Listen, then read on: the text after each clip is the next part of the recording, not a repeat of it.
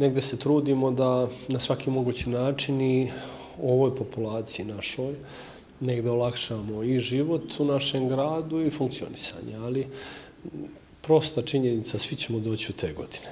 I moramo da budemo spremni da u nekom trenutku sve ono što se sad pruža ovim ljudima i mi ćemo biti negde korisnici.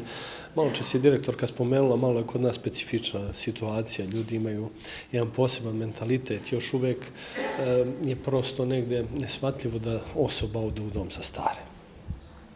Mi smo malo drugačije navikli da prosto deca se brinu, da možemo sami negde to drugačije u svetu, u zapadu, to je prosto normalno i mogu vam reći, ja prvi put kad sam došao u dom, meni je bilo onako mm, situacija pre nekih deseta godina kad sam prvi put došao, kako se ti ljudi snalaze, kakav je ovdje život. I onda sam vidio koje prednosti nosi dom sa sobom.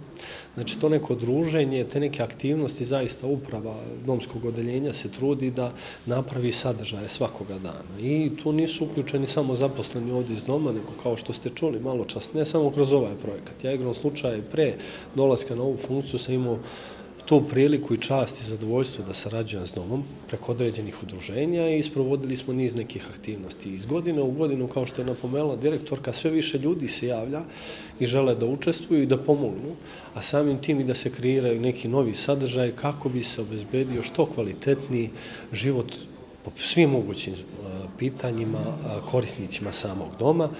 Ja bih samo voleo u nekom trenutku da dom proširi svoje kapacitete, Ovaj dom ima 80 mjesta i ovdje je stalno popunjenost kapaciteta 100%. Uvijek su velike liste čekanja.